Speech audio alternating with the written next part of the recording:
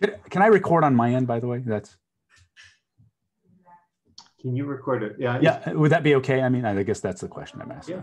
Totally fine. Yeah. Okay. Super. Thank you. I can send you the recording with captions as well, Jeremy. Oh gosh, that would be even better.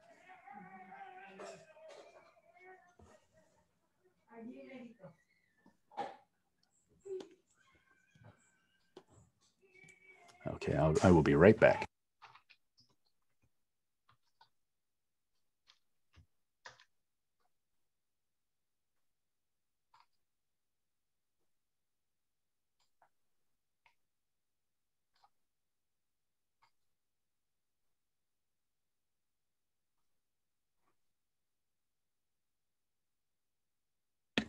Good morning, everybody.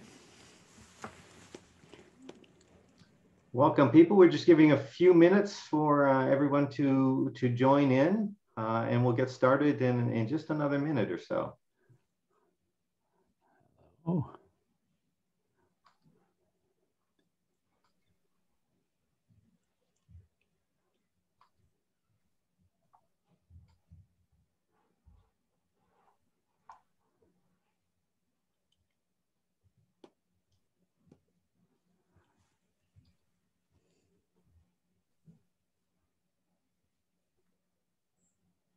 All right, let's go ahead and get started. I'm Stephen Gilliland, uh, professor here at uh, Claremont Graduate University, and uh, we are about to start the final of our spring uh, public sector leadership webinars. Uh, this morning, we've got Jeremy Hunter, who's an associate professor of practice on the Drucker School of Management and also founding director of the Executive Mind Leadership Institute. Uh, Jeremy is uh, just a, a, real treat to have as our uh, cleanup hitter in this uh, webinar series. Uh, he gives a lot of addresses, uh, keynote addresses, and so on. just a really gifted speaker with some fascinating ideas on how leadership really starts from within inside your mind.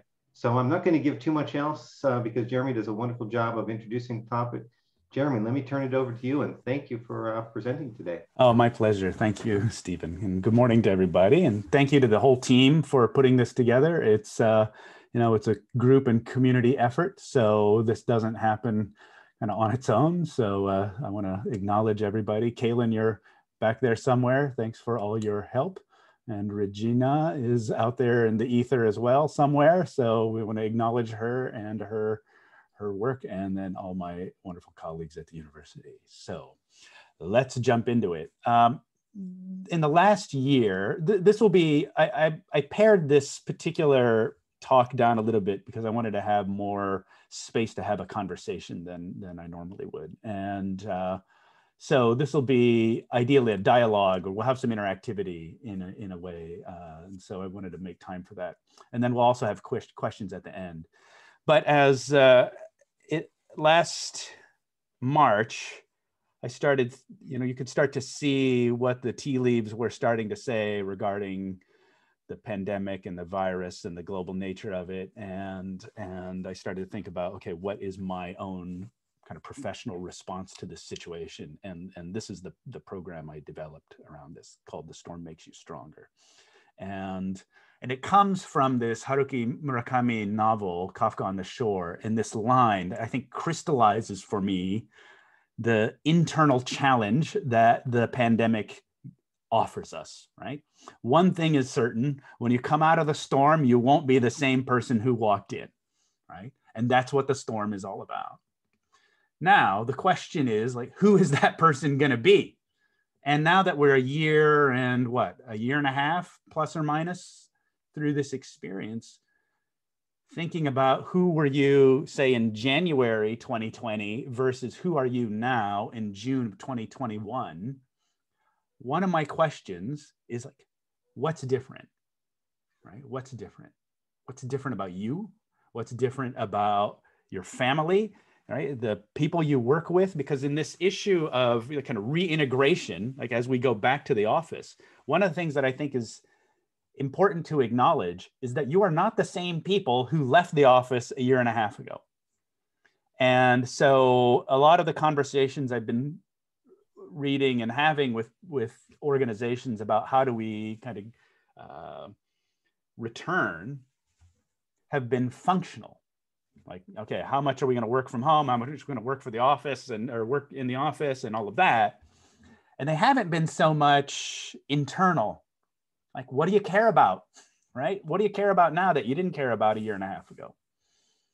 And and I think those are actually at some level just as important as the questions of um, what you know how, how are we going to make the office work operationally okay so because we are not the same people we were a year and a half ago and that needs to be acknowledged and explored so I, I think when we face crisis we have three options. One is to collapse right? And which isn't really an option but it happens. The other option we have because you know we the system gets overwhelmed we get overwhelmed and and um, uh, and and we you know kind of lose structural integrity as it were. The other one which i think is probably the most common one is cope. Like how do i keep my head above water and how do i just keep going right? And i think this is ideal for a temporary situation but it isn't ideal for you're not getting the promise of what crisis offers in a way right?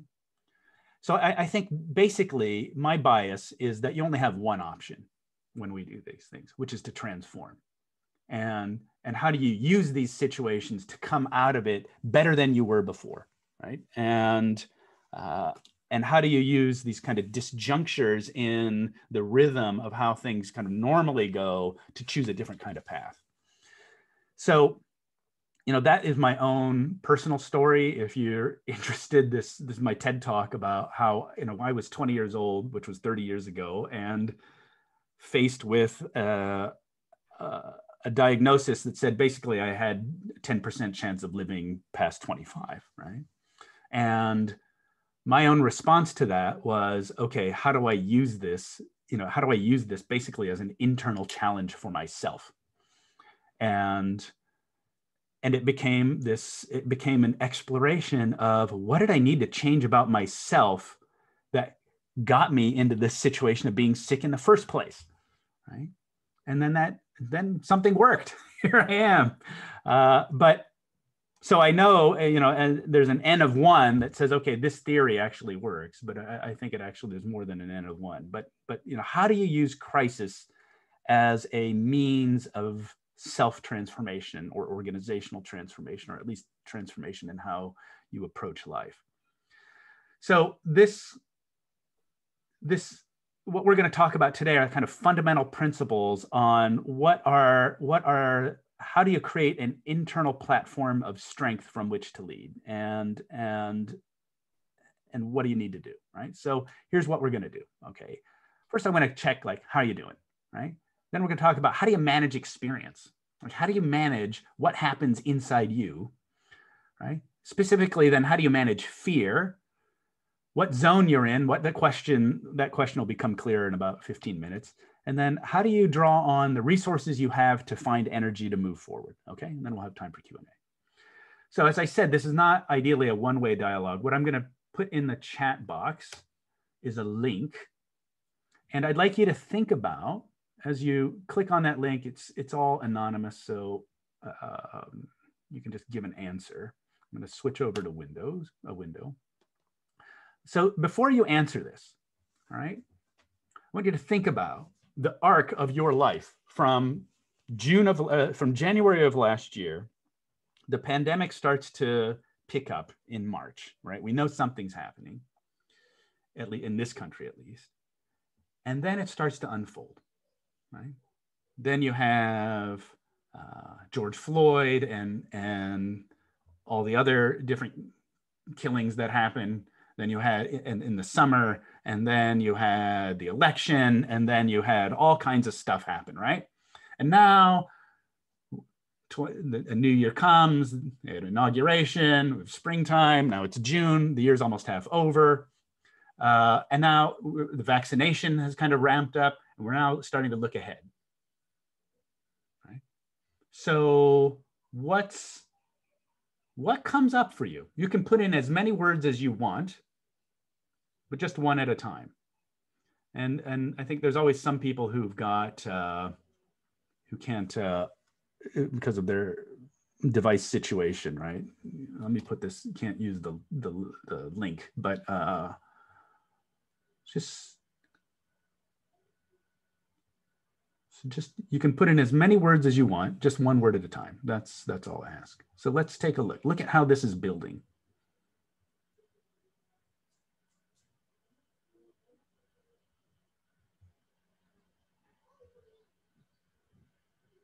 So hopeful is the bigger, so just to you know how these things work is that the more people that put in the same word, the bigger the word becomes. So it's interesting. Hopeful pulled ahead for a while there. Overwhelmed and exhausted were kind of the bigger words. Here we go. Just look at how does this build? And look what what I'd like you to notice is the range of the words.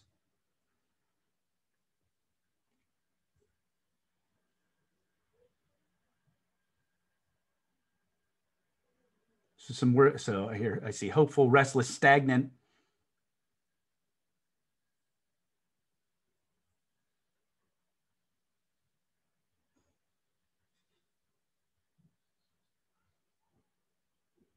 Angry, lonely, passionate, determined, optimistic, frustrated, self-loathing, right? Burned out, fed up,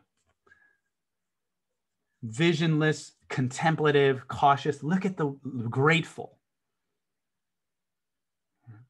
leave it up just for another five seconds or so. Look at the range, right? And acknowledging that you can feel a lot of these things simultaneously, right? I can feel exhausted and I feel hopeful, right? I can feel optimistic and I, there might be incredible sadness that's going on because of the things that I, I've experienced. Right? Okay, this is beautiful, right? Look at look at the whole range of human experience. I mean, this and the complexity of what we've experienced over the last year and a half. All right. So thank you. I'm going to shift over to the next. Let me just let's take one final look here anticipation. Yeah, look at that. So there's hopeful is the dominant word and then followed up by a whole bunch of other stuff, right? Excited, anticipation, contemplative, anxious is the second set. And it looks like overwhelmed, cautious, grateful, exhausted, frustrated is the third set. And then you've got a whole bunch of stuff scattered in between, right? Okay, beautiful. So here's what it was a year ago, or uh, sorry, not a year, a year and three months ago or so. Hmm, and this is kind of reflective of all the polls I did over the year. But we had uncertainty, anxiety, tired. And it basically was this through the end of, of the year. And I actually got more and more tired through the end of the year. So interesting how things have shifted, right? So we've certainly turned a corner. Stephen mentioned I teach at the Drucker School of Management. One of the things that Drucker, one of his core insights was that you can't manage other people unless you manage yourself first. And that leadership is defined by results, right? We have to produce some kind of result. That's what we're here for uh, in, in our professional capacity. So, how do you manage yourself and how do you produce results in the world if you put those two ideas together, you get something that looks like this, right? We have two things to do. I have to manage and be effective of the context outside me, right? And I have to manage the context and stuff going on inside me, all the feelings, the emotions, the frustrations, the beliefs, right? The physical sensations. You know, you open up your email and you see the, the email from the colleague you don't like, and you feel the sense of dread, right? How do you how does that influence, you know, your next moment? Right? So, from a leadership point of view, a leader has to do two things to be able to understand and manage the context outside themselves and be effective there, and also be effective in managing what goes on inside. And ideally, how do you do that in real time? Let me give you a concrete example. There's a, uh, an organization I work with in the Bay Area, and uh, I have in that organization is a partner who I have worked closely with, who's famous for her short temper. She is in a meeting with a key client of hers. This person represents several millions of dollars worth of business for her firm. In this meeting, somebody says something inflammatory, and this wave of anger rolls through the room, including through my client who is easily angered. she looks over at the her client and he is now kind of gathering his papers, right, and getting ready to leave. You can imagine if he gets up and walks out the door, her career is kind of done. So she was a very good student. And she did so she notices first, goes to the inner game. What's going on inside me? Oh, I notice I'm angry too. She takes her palms, puts them on the top of the table. That gives her attention somewhere to go, somewhere solid to go, rather than being taken off by the anger that's that's inside her, right? So she puts her palms on the tabletop. That buys her a minute or a moment to let the anger subside. Then she turns her attention back out into the room and she acknowledges what was happening right? Somebody said something unfortunate. And that she re- deftly redirects their attention in a positive direction. She looks over at her client, and his papers are back down on the table, right? She saved the day. So she was able to do all of this stuff after a lot of practice, but she was able to do it in real time and and that's kind of what we're aiming for. I mean you don't start out that way but you that's where you aim toward to be able to do that in real time right? at some point sometimes you know in the last year and a half my son will come in here's five you know he will come in here either unclothed or with a sign that says some something that he wants you to know about right? And then and then i got to manage that moment right? So like what's going to happen today he's he's taken care of today. Uh, but uh, uh, so risk of that today is low. Um, but you get what I'm saying, right? There's two things we have to do. So a lot of the time we don't know what's what we're actually experiencing inside. Right? We don't know that we're frustrated, angry, or or irritated. And then that, if we don't know that, like 4% of the time, no, no, sorry, 30%, only 30% of people can tell you what emotion they're experiencing in a given at a given moment. So if I don't know what I'm experiencing in a given moment, how does that influence the choice that I perceive I have, the action I take, and ultimately the result I get? Right? You can't manage other people unless you manage yourself first. So part of the story is so think about this. If you're frustrated, angry, and impatient, how does that influence what you perceive as choices. Right? And then ultimately, the action you take and then the result you get. Now, this isn't to say don't ever feel frustrated, angry, or impatient, right? Because, hey, we're human beings, but be aware of what you're actually experiencing. Likewise, like if you were to shift and say, okay, if you experience things through the lens of appreciation, calm, and joyfulness, does that shift like what you perceive as choices, actions, and, and then the result you get. The statement here is not to say feel positive all the time, right? That doesn't work. Maybe that might work for your new age aunt in Sausalito, right? But probably not for most of us. But what I want to say is that your internal state shifts what you perceive as options, right? That's the point I want to make. So it's good to be aware of what are you actually experiencing, right?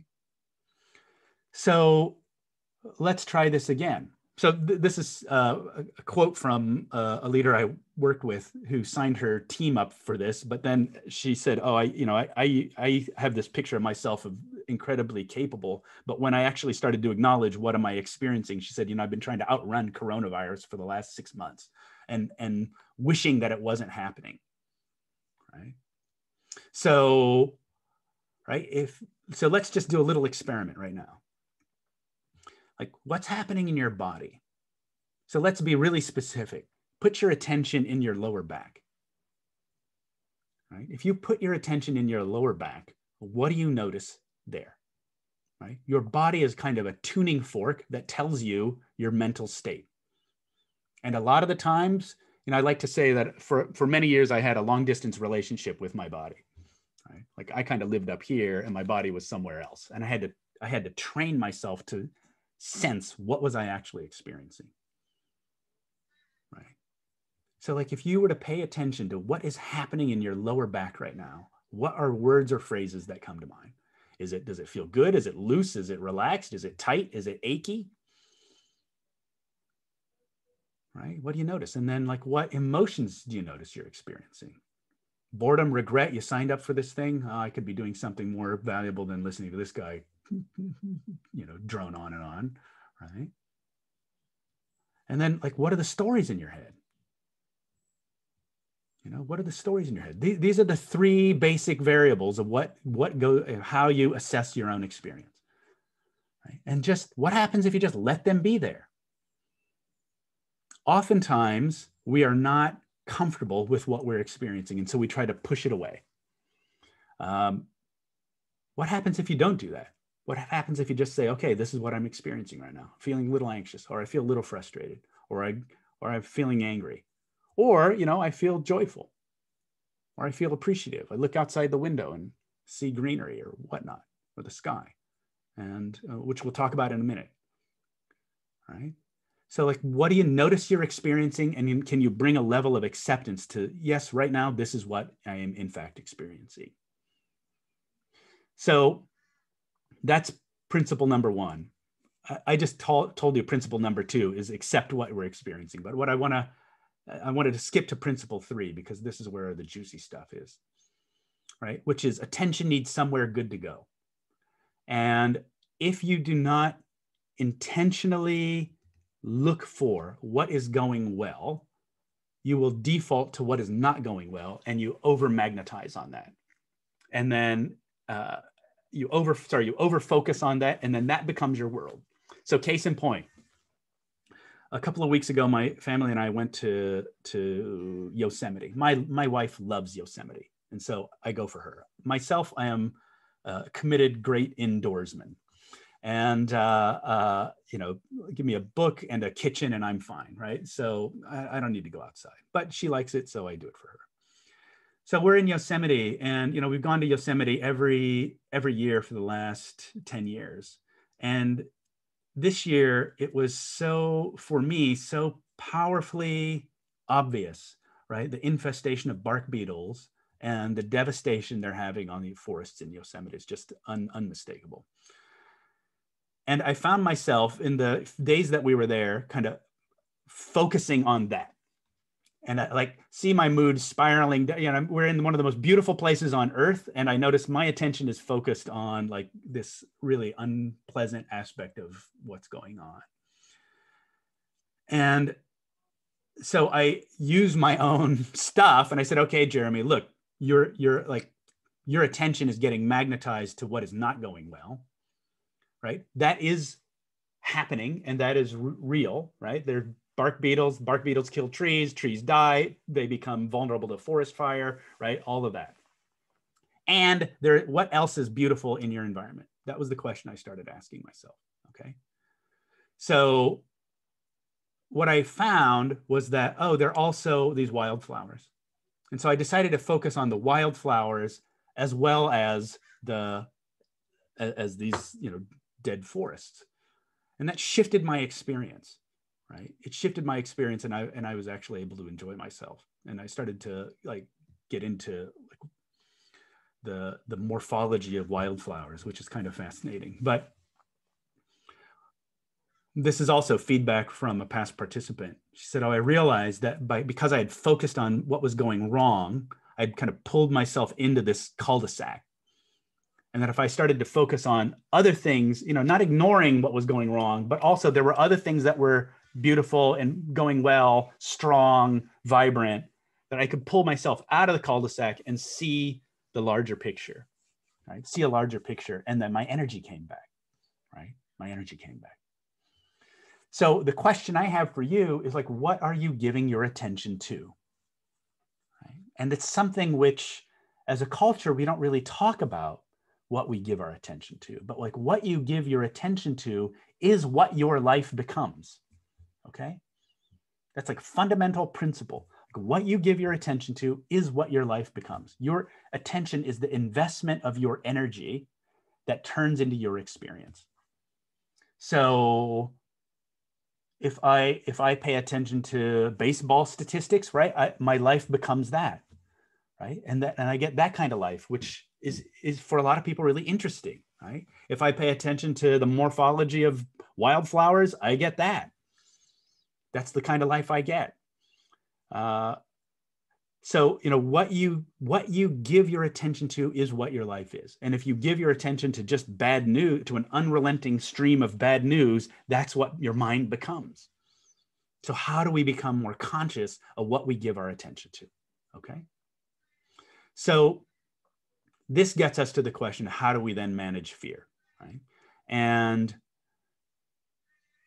which is why this is not a lesson on stress management, right? It, uh, it's it's something a little bit deeper than that. It's like really understanding what our survival impulses are and how do they distort perception, and then how how do we manage it in a way that helps us be more effective. Fear reactions are there to help us survive, right? And that, as with all emotions, they generate energy to produce a particular kind of response. In this way to either defend ourselves to get out of here or to freeze and hope that the predator walks by because predators don't um, don't eat things that they perceive as dead right? These are fundamental reactions that we have to survive and, and we don't want to live without them people who don't have fear responses do dumb things right you know that they get into cars with total strangers you know they touch hot hot pans, you know, um, uh, because that protective instinct isn't there. So we don't want to get rid of our protective instinct, but we want to manage things in a way that's that's appropriate. So as a friend of mine says, we are living in a 21st, 21st century world with a Stone Age survival system, a Stone Age alarm system. So we have this sophisticated culture we've created and an alarm system that's kind of geared towards something to to a world that that in a way doesn't exist anymore and then of course coronavirus has asked us to be even more sophisticated in our own responses right like remember in the early days don't touch yourself don't touch your face wash your hands uh, uh, there, there are things that we're, we're uh, stay away from other people, right? And there, a lot of our own natural impulses for how we cope with things, coronavirus asked us to do the opposite of, right? And so our survival system of threat, of, of uh, how do we feel, how do we manage the sense of feeling threatened, right? And like ask people to wear a mask and somehow that's threatening for people. You know I, I, saw some people saying oh i feel muzzled right? Well what what does that that's that's activating something else that has nothing to do with coronavirus right? So how do you manage and be more rational about your own protective responses so that they're actually helpful for you is one question. So when we talk about managing oneself we really talk about at the first stage managing one one's nervous system right? You know we have 35 weeks of of programming just about this topic. And so so i'm giving you like the most fundamental thing that we have right? And the fundamental thing is to manage yourself you have to manage your nervous system first so we have this uh, one way you can think about how your nervous system works is that you we have a green zone, right? And and ideally, the green zone is where we are our most sophisticated. You know, one way to one way to think about it is a zone of coherence. And one of the themes that I've been talking to people about um, in the last year is like, how do you, in a sea of chaos, be an island of coherence? How do you be an island of coherence so that you can help other people be more, co- more coherent as as things are kind of chaotically swirling around us, right? So let's go through each of these really quickly. The red zone is when you're you're in a defensive state of wanting to attack or defend yourself or get out of the room, right? There's a lot of energy here. And uh, you can see in the parentheses, I put greater internal chaos, right? So if you think about this like a pot, um, the pot is boiling over, right? There's a lot of energy in the system and, and, and the pot is boiling over and, and you can't necessarily control the energy. So, um, right, it's the it's two o'clock in the morning and the hamster wheel's still spinning. Uh, FDS is a disease I made up called frivolity deficiency syndrome, right? You're not able to, it, it's a serious disease, right? You see what's going wrong in every situation. I'm prone to this, by the way, so that's why I know it. Uh, uh, the cheeseburger chocolate axis is all the comfort food you've been, you know, we've all been eating. Uh, turning out, le- turns out, like learning how to bake while you're confined to a small space for an extended period of time wasn't, you know, wasn't necessarily a great idea for your weight, uh, at least mine. Um, right, we get we get impulsive decision decision making uh, is impaired, tunnel vision, hypervigilance, all of that. Okay, I would argue that probably March through June or July, we were all collectively in the red zone, right? Running as fast as we can to kind of keep up. Then at some point, the adrenaline runs out. For me, uh, what I started to notice for a lot of people, I, I, a lot of my clients, this was August, September, and and probably now, uh, energy, energy, the adrenaline starts to run out, and that the nervous system sinks into a different layer of protection, which is shut down, and this isn't the pot is boiling over. It's like there's not enough energy in the pot and that the pot is frozen. And so here you've got um, exhaustion, depression. You don't want to see people, low energy, sadness. Uh, why bother? All of that. We saw some of that in the in the um, in the word cloud, right? And then ideally, here's where you want to be, right? So when you go to the airport and you see those uh, consulting companies advertising that say, you know, our people are our greatest asset, there should be a uh, an asterisk that says, yeah, our people are our greatest asset when they're in the green zone. Right? And this is where we're at our most sophisticated. We can see other people's point of view. We can adapt. We're we're uh, flexible. All of that. Right.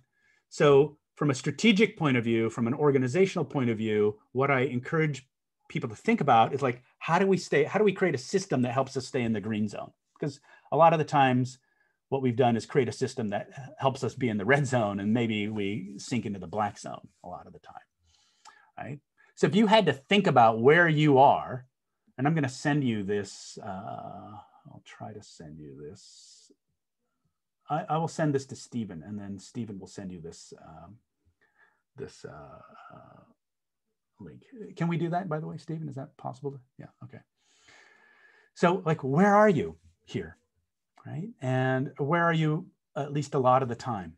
And so that that would be one question. And if you're managing a group, how do you put on kind of put on the table, hey gang, where are we? And then what do we need to do? You know, so uh, one thing I encourage people to do is think about what are their tells, you know, from poker. You know, they're the tells like, oh, I got five aces here in my hand, right? You don't want to what are your tells that you're in the red zone? What are your tells that you're in the black zone? What are the tells you have that tell you, hey, I'm in the green zone, I'm doing all right. And if you had to make a list of like, what does this look like, sound like, and feel like for you, what would that be? And if you don't know what that answer is, the person you live with knows what that answer is, right? So I would encourage you to make uh, make this a, a group conversation. And then, you know, what are the tells of the people around you? and that to the reason why I think this is important is that to be able to make these kind of topics discussable, right? Because we're not just kind of units of labor kind of plugging away, but you know that that what's the quality of mind I'm bringing to to my work or or to my family is important to be able to talk about that because it's going to impact the impact that you have, right? And so how do we start to have a conversation around this and and make that discussable, right? So what zone and, and so oftentimes what uh, people I work with will do say, I'll just talk about what zone I'm in. Like what zone are we in? Red, green, or black, right? And and let's discuss it. What do we need to do? Right. so here are ways of bringing up the issue and and then and then what i want to close with is like how do we start to get back into the green zone right and because this is where i think as a culture we need to think about how do we live in the green zone more of the time right and so what i want to do is kind of work go through an exercise we have 10 minutes left or so is that right so we'll do a really quick version of this exercise which is which i call who's helped you and if there's a version of this on my uh, SoundCloud, which I'll put in the chat, um, probably have to cut and paste that. So, okay, so let's do a little, let's do a quick little exercise. If you are able, if you are able to uh, do this in your environment right now. Like if you're driving, don't do this, but uh, if you're a kind of stationary, uh, see what happens. But uh, just close your eyes if you're comfortable with that, right? So just I'm going to close my eyes. So close your eyes. Just notice what are you experiencing right now. First of all, let's just kind of set a baseline. Like, what do you notice? Notice your breathing, right? Notice the quality of uh, tension in your muscles.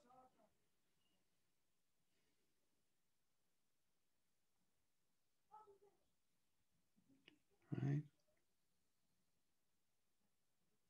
Now, bring to mind somebody from your life who has helped you. Right? Somebody who is the right person at the right time with the right kind of information or help or assistance that got you through some challenge you were facing.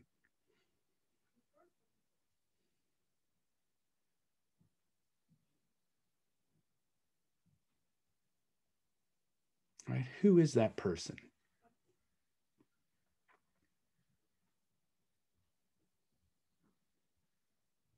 And then imagine their face. Maybe it's smiling at you.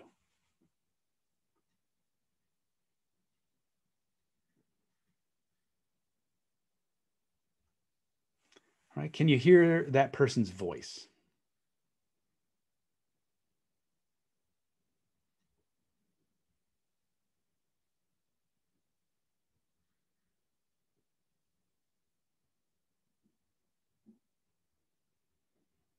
And as you hold that person's image in your mind, what does it feel like to be with that person?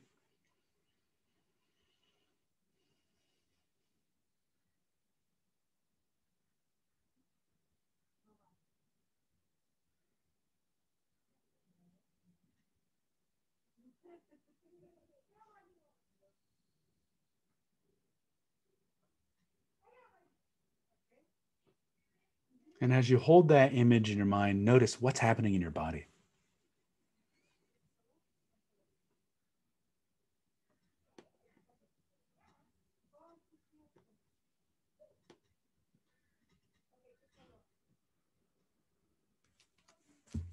Right?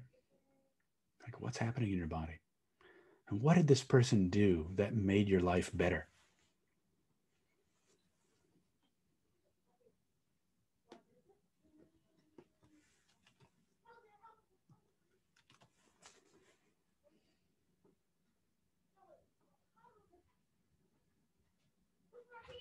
Right? Do you notice something change? And imagine that that person is standing behind you right now, still giving you their support.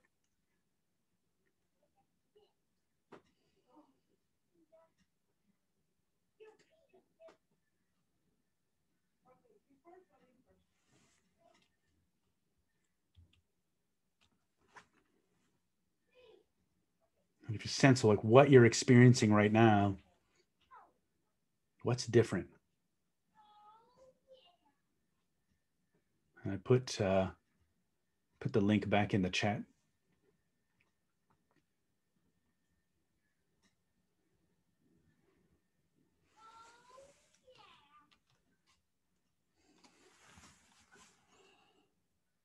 And what are words or phrases you would use to describe what changed? Yeah, beautiful.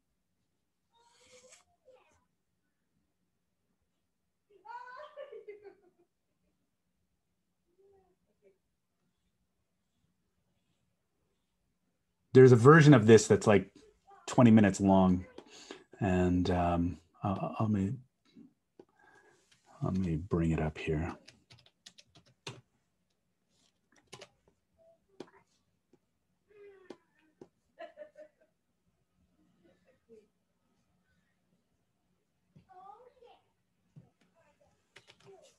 I'm going to put this in the chat. This is, um, I call it the Who's Got Your Back meditation, but uh, that's a link to that one. And then to the, what we just did, a, a, longer version of what we just did. And then here's a link to um, a whole bunch of other stuff I made for last year.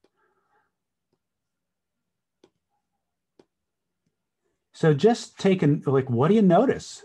First of all, right? I'm gonna, this will still keep happening, but I'm gonna shift back to the first one we did, right? Hopeful's there, but notice, notice the, the words around it. And notice these, right? Well, one thing I notice is that um, though there are fewer words, the words are more uniformly positive. And what I want you to know, what I want to point out is all we did was shift your attention to something you already had, which was the experience of, of one person helping you. You shift your you shift your experience, you shift your attention to something good. Attention needs somewhere good to go. So one thing you might do is think about who are five people in your life who helped you. And then print out a little picture and then stick them somewhere where like if you're not having a good day you can look up and make contact with one of those five people or all five of those people. Right? And remind yourself hey you're not in this alone. Okay? So all right i want to give a few minutes to some questions stephen and so if there's uh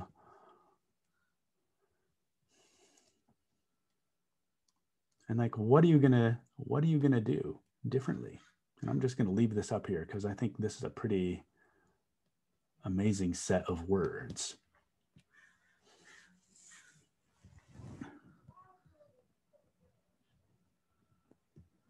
So there's um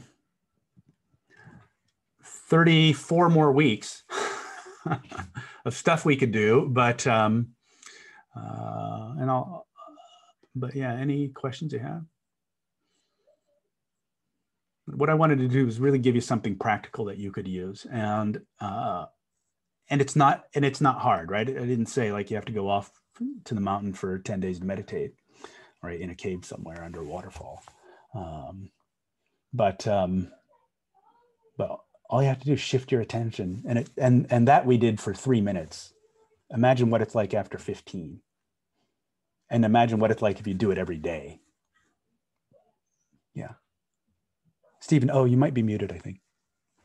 A couple questions we got for you, Jeremy. Uh, yeah, please. One is, uh, how, how, can we distinguish between negative events that uh, we don't need to focus on versus those that we should be focusing on, such as social justice? Mm. One, it's a fantastic question. The social the social justice question is a whole conversation unto itself. My point of view is how do you use these painful events as ways of energizing you? But then how do you also not act out of anger right? Even though that the situations may be incredibly angering right? Because then it then it just perpetuates the anger. So again it's inside outside. How do i manage the inner game so i can be effective externally? So so that that's one you know given that obviously we could go into way way deeper. Uh patricia's question tips on this uh rolling this out to my team. First start talking about it. Where are we? And then I have to say that in the in the organizations that I work with that have handled this really well, this being you know what I call pandemic plus, um, the experience of all this is that they prioritize the relationships they have, right? They prioritize the relationships over the work process. So putting the relationships first about I think is one is, is the way to go, right? And then how do you so first how do we talk about it? And second, just talking about okay, what do we need? Like what do we need?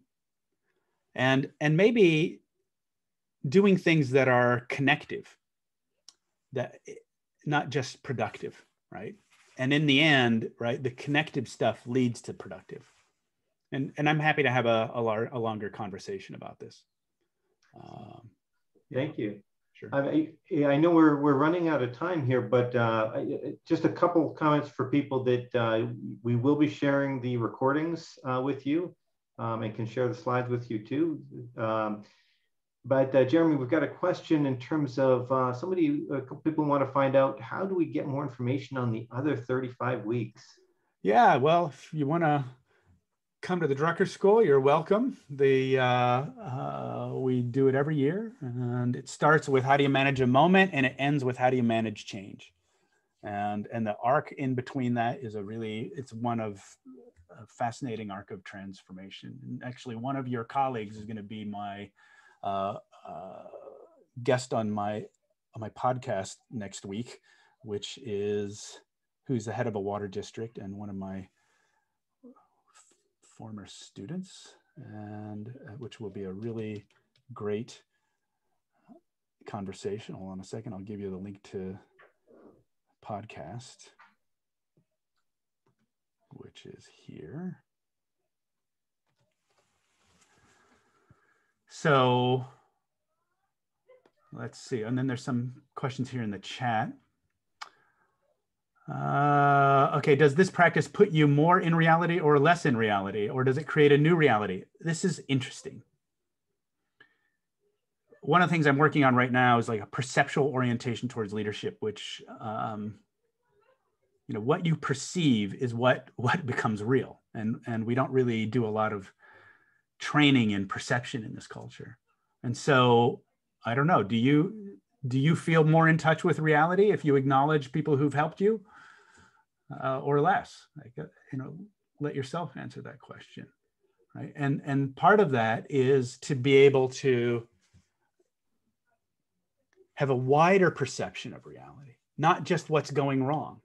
You know, in my own case, in dealing with illness, yes, I I was living with a disease that was killing me, and there were other things happening. There were other good things happening in my life that i could focus my attention on. So like my so that that's where i developed this rule attention needs somewhere good to go. So the the question i would ask people is what is enlivening to you?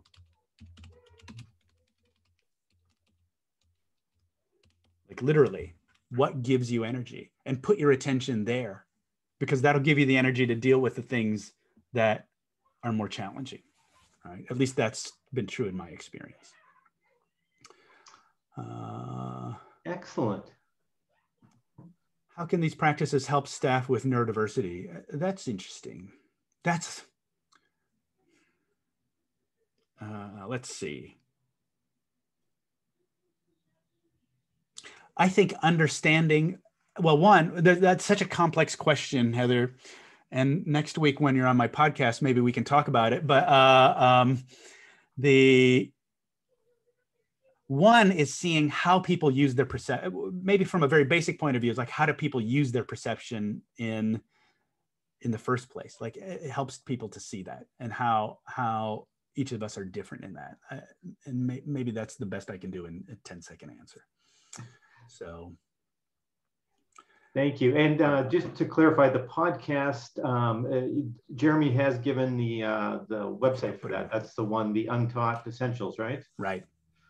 Perfect. So grab that uh, if you're interested in that. Uh, people were out of time, um, but uh, you can just tell that we've touched the tip of the iceberg here. Um, we've got a lot of great programs that we run here from CGU, um, including uh, the, the, the, one Jeremy's talked about, um, including a brand new master's uh, in leadership uh, that Jeremy uh, teaches um, a class on. In. So encourage you to contact us if you want more. Um, we'll also be sending out a, a, survey within the next week just to kind of get your reaction to this webinar series. Um, we put these on for you to try and um, offer something of, of value and would love to get your reaction in terms of how we did this year and how we could improve this for, for continuing the series in the future. So with that, Jeremy, thank you so much for your time today. Um, thank you. And uh, everyone, thank you for joining us. It's great. See you. See you, everybody. Thank you. Take care, everyone. See you next week, Heather.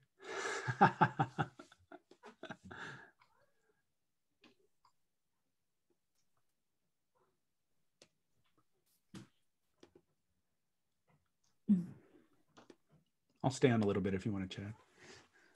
Great. Caitlin, can you